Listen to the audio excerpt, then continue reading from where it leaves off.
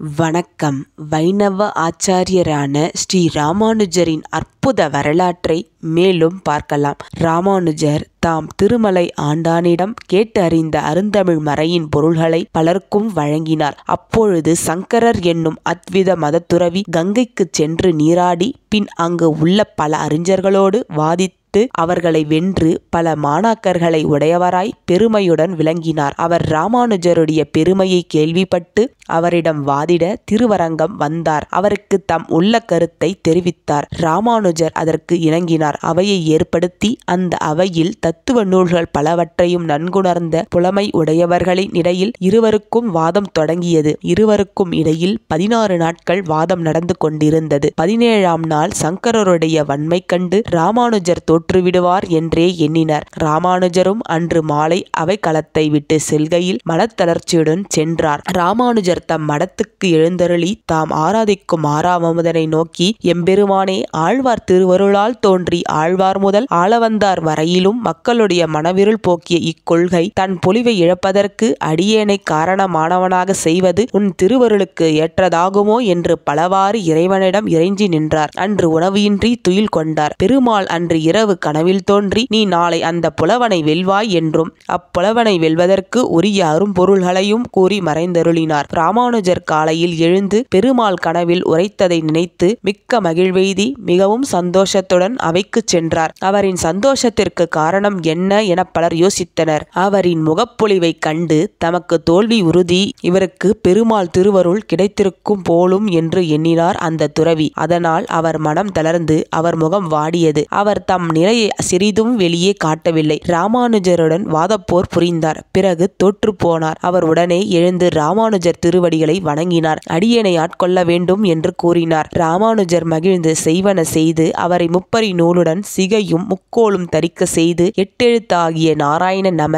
திருமந்திரத்தை உவப்புடன் அருளி அவரை தமக்கு சீடராக தந்தருளிய பெருமானுடைய திருப்பெயராகிய அருளாளன் என்பதையும் திருக்கோட்டியூர் நம்பிகள் தமக்கு அருளிய திருப்பெயராகிய எம்பெருமானார் என்பதையும் சூட்டி அவற்றிற்கு இடையில் தாம் கங்கைக்கு செல்லுகை தவிர்த்து திரும்பி வருகையில் தமக்கு உதவு வந்த வில்லியின் குலத்தலைவராகிய கோபெருமானுடைய பெயரின் ஈற்றில் உள்ள பெருமாள் என்பதையும் சேர்த்து அருளாள பெருமாள் எம்பெருமானார் என்னும் பெயரை இட்டருளினார். பிறகு ராமானுஜர் அவருக்கு ஆழ்வார்கள் அருளிச் செய்த அருந்தமிழ் மறையையும் ஓதுவீராக என்று கூறி திருப்பல்லாண்டு முதலாக தொடங்கி நாலாயிரத்தை பொருளுடன் அவருக்கு நன்கு அருளினார். பிறகு ராமானுஜர் அருளாளப் பெருமான் எம்பெருமானார் முதலியாண்டான் கூறத்தாழ்வானுடன் வைத்துக்கொண்டு பல நூல் பொருள்களை பலருக்கு புகட்டி வந்தார். அப்பொழுது பல சான்றோர்கள் ராமானுஜர் திருவடி அடைந்து அவரை தங்கள் குருவாக ஏற்றுக்கொண்டதை அறிந்து அனந்தாழ்வான் எச்சான் தொண்டனூர் நம்பி மருதூர் நம்பி என்னும் நால்வர் ராமானுஜரிடம் வந்து அவர் திருவடிகளை வணங்கி அடியன் ஆட்கொள்ள வேண்டும் என்று கூறினார்கள். ராமானுஜர் அவர்களை நோக்கி நீங்கள் அருளாள பெருமான் எம்பெருமானார் திருவடிகளை அடைந்து அவர் அருளை பெறுவீர்களாக என்று கூறினார். அவர்களும் அவ்வாறே அவரிடம் சென்று அவர் திருவடியை வணங்கி நின்று ராமானுஜர் கூறியவற்றை கூறினார்கள். அவரும் ராமானுஜர் கட்டளையை மறுக்க அஞ்ச அக்கணமே அவர்களுக்கு திருவிலச்சினை திருமந்திரம் முதலிய ஐந்தினையும் அருளி அவர்களை நோக்கி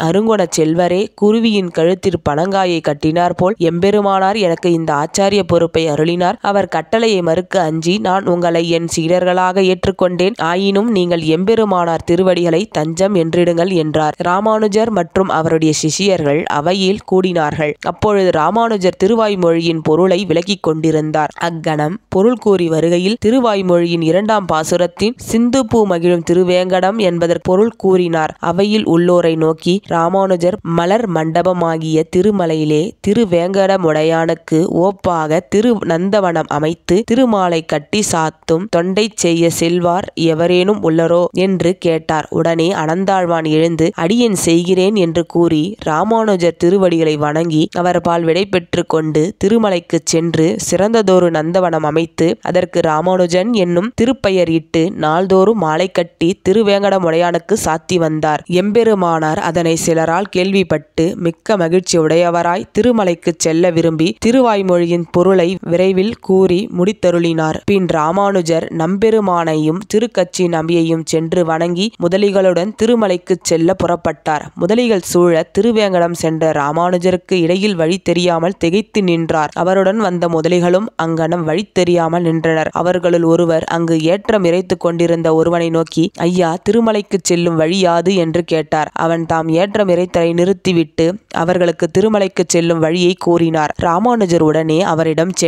அவரை வணங்கினார். அவன் மனம் பதறி ராமானுஜரை நோக்கி யான் வணங்குவதற்கு உரிய பெரியவன் அல்ல நீங்கள் என்னை வணங்குதல் ஆகுமோ? என்றான். ராமானுஜர் உடனே அவரிடம் யாங்கள் உமக்கு முன் ஓர் உதவியும் செய்யவில்லை. அங்கனம் இருக்கையில் நீர் திருவேங்கடம் செல்ல பேருதவி புரிந்தீர். ஆதலால் உம்மை நாம் வணங்கினோம் என்றார். அவருடன் வந்த முதலிகள் ஒருவர் மற்றவரை நோக்கி நம் குருவிற்கு திருவேங்கடவனை சேவிக்க வேண்டும் என்பதில் எவ்வளவு ஆசை இருக்கிறது என்பதை பாருங்கள். இவர் அவ்வேற்றக்காரனை வணங்கிய செயலை பாருங்கள். அவன் செய்த உதவியை கைமாறு செய்ய முடியாத பேருதவியாக கொண்டார். நாமும் சென்று அவனை வணங்குவோம் என்றார். அக்கணமே அவர்கள் அனைவரும் சென்று அவனை வணங்கினார்கள். அவன் அரும்புலவர்களே உங்கள் வணக்கத்தை திருமலையப்பனுக்கு உரியதாக்குக என்று கூறி ராமானுஜரையும் அம்முதலைகளையும் வணங்கினான். ராமானுஜர் அவனிடம் விடைபெற்று கொண்டு தம் முதலிகளுடன் திருவேங்கடத்துக்கு சென்று திருமலையையும் திருமலையின் தாழ்வரையில் எழுந்தருளியிருக்கும் ஆழ்வார்களையும் வழிபட்டு வணங்கி திருமங்கை மன்னர் அம்மலையில் அடியிட்டு ஏறுதற்கு அஞ்சி ஏறாமல் இருந்ததை எண்ணி தாமும் ஏறாமல் தாழ்வரையிலேயே தங்கியிருந்தார். ராமானுஜர் அங்கு எழுந்தருளிருத்தலை அனந்தாழ்வான் முதலியவர்கள் சிலரால் கேள்விப்பட்டு அங்கு வந்து ராமானுஜரை வணங்கி நின்று தேவரீர் திருமலையில் உள்ள வேங்கடவனை சேவிக்க எழுந்தருள வேண்டும் என்றார். ராமானுஜர் திருமங்கையாழ்வான் இம்மலையில் அடியிட்டு ஏற அஞ்சி ஏறாமையாலே யாமும் அஞ்சினோம் என்றார். அனந்தாழ்வான் ராமானுஜரை நோக்கி தேவரீர் இம்மலையில் ஏறாவிடில் உலகில் உள்ளவர்கள் எவரும் வந்து ஏறிச் சென்று அப்பனை வழிபட மாட்டார்கள் என்று கூறினார். ராமானுஜர் அதை கேட்டு அவ்வாறாயின் யாம் இம்மலையில் ஏறிச் செல்வோம் என்று கூறி திருப்புலியை வணங்கி பரமபதத்தில் ஏறுவதாக திருவுள்ளத்தில் கருதி கொண்டு தம்முடன் வந்த முதலிகளுடன் அனந்தாழ்வான் முதலியவர்களுடன் ஏறி திருப்பரிவட்டப்பாறை அடைந்தார். பெரிய திருமலை நம்பி ராமானுஜருடைய வரவை அறிந்து அப்பனுடைய தீர்த்தம் துளசி மாலை முதலியவற்றை ராமானுஜருக்கு அளித்து அவரை வரவேற்றார். ராமானுஜர் உடனே பெரிய திருமலை நம்பியை பணிந்து நின்று தேவரீர் இங்கு எழுந்தருள வேண்டுமோ? சிறியவராகிய யாரேனும் ஒருவரை அனுப்பியிருக்கலாமே? என்று கேட்டார். பெரிய திருமலை நம்பிகள் இங்கு ஆராய்ந்து பார்க்கையில் என்னிலும் சிறியாரை கண்டிலேன் என்றார். ராமானுஜர் அதனை கேட்டு வியப்பெய்தி அவருடன் மற்றவர்களுடன் சென்று கல்வேள்வியின் பக்கத்தை சேர்ந்தார். பல வைணவர்களும் ராமானுஜர் அங்கு எழுந்தருளிருத்தலை அறிந்து வந்து அவரை வணங்கினார்கள். ராமானுஜர் அனைவரோடும் சென்று வைகுந்த கோபுர வாசலை அடைந்தார். அனந்தாழ்வானால் ராமானுஜன் என்னும் தம் பெயரால் கட்டப்பட்ட சோலையை கண்டு மகிழ்ந்து அனந்தாழ்வானை பாராட்டினார். பின் கோவிலுக்கு சென்றால் கோவிலுக்குள் சென்றவுடன் விமானத்தை வணங்கி பின் சேனை முதலியார் பெரிய திருவடி சிறிய திருவடி முதலியவர்களுடைய அடிகளை வணங்கி பின்னர் கருவறை அருகில் உள்ள முதற்படியாகிய குலசேகரப்படியை நோக்கி கைகூப்பி தொழுது மூவலகம் போற்றும் முதல்வனாகிய அப்பனை திருவடி முதல் திருமுடி வரையிலும் சேவித்து உடம்பில் மயிர்க்குச்செறியவும் கண்கள் அருவி என நீர் சொரியவும் நின்றார். பிறகு திருமலையிலிருந்து இறங்க எண்ணினார். பெரிய திருமலை நம்பிகள் அதனை அறிந்து திவ்ய தேசங்களில் மூன்று நாட்கள் தங்கியிருத்தல் வேண்டும் என்றார். ராமானுஜர் அதனை ஏற்று மூன்று நாட்கள் தங்கினார். பின் மூன்றாம் நாள் முதலிகள் புடைசூழ கீழே இறங்கி கீழ்த்திருப்பதியில் உள்ள பெரிய பிராட்டியும் நிலா பிராட்டியும் கோவிந்ததாசர் ஆகிய பெருமாளை கண்கொளிர சேவித்தார். பின் பலமுறையும் வணங்கி ஏத்தி தீர்த்தமும் சடகாபனம் பெற்றுக்கொண்டு பெரிய திருமலை நம்பியின் திருமாலையில் அமுது செய்து அம்மாளிகையில் தங்கினார். மேலும் ராமானுஜரின் வரலாற்றை பொறுத்திருந்து பார்க்கலாம். நன்றி வணக்கம்.